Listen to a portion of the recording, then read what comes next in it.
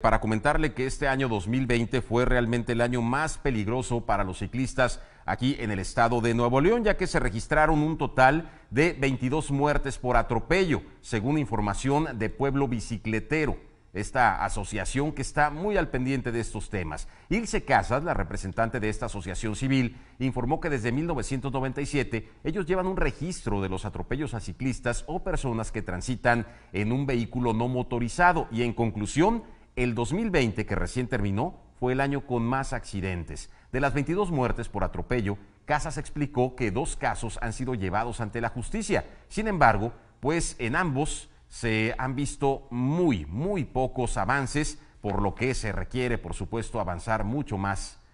en esta materia.